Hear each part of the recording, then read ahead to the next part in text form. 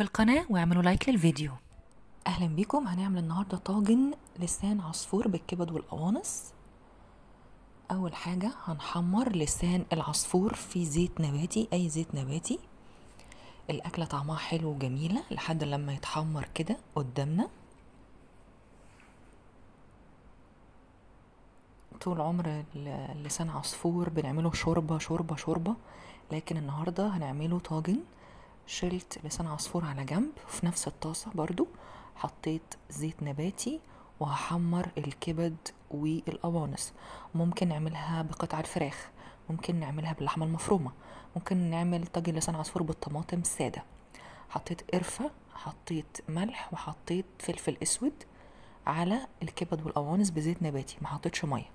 وهفضل أقلب فيهم لحد لما يتشوحوا شوية بحيث ياخدوا آه، نص سوا أو تلات أرباع سوا. حط الخضار بصل توم جزر فلفل. الفلفل بيدي طعم حلو. البصل والثوم طبعا أساسي في أكلاتنا. وهحط عليهم اللسان عصفور المحمر. هقلبهم مع بعض شوية ياخدوا التوابل من بعض. وهحط عليهم عصير طماطم. أحط عليهم شوية مية. لأن أنا شفتهم dry لقيتهم dry شوية.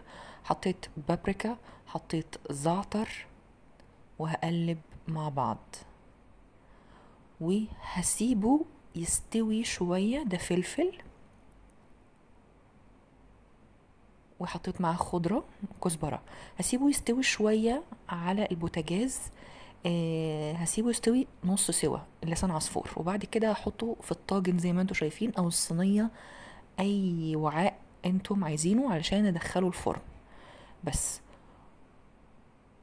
وأنا في الفرن هحط له شوية مية برضو يعني نص كوباية مية بحيث برضو لقيته ناشف شوية فهحط له شوية مية.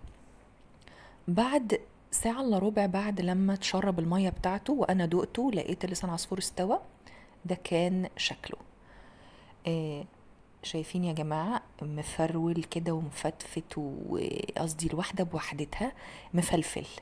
لسان عصفور مش معجن مش ني مستوي. لما بتاخدي المعلقة بتاخديها بالخضار وبالكبد وبالقوانص يعني آه، أكلة حلوة في العزومات أكلة حلوة في رمضان أكلة حلوة تحطيها على سفرتك قدام ضيوفك للشباب اللي عايزين ياكلوا أكلة حلوة من إيديهم.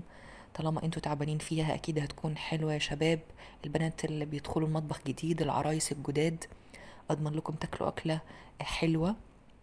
ما تنسوش تعملوا اشتراك للقناة ولايك للفيديو ودوسوا على جرس الإشعارات توصلكم كل جديد.